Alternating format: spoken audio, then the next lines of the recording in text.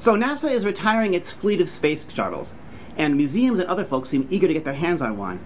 And I want to know how much would you pay for one? I'm Phil Ross, senior editor at IEEE Spectrum magazine, and I have some ideas on how to repurpose a space shuttle.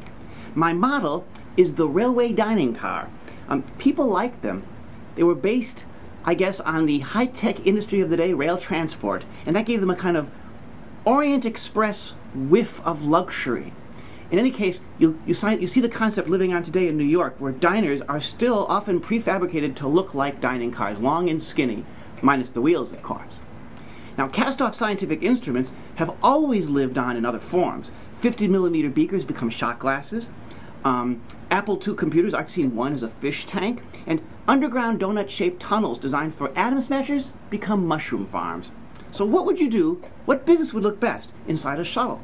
Uh, how about a bar?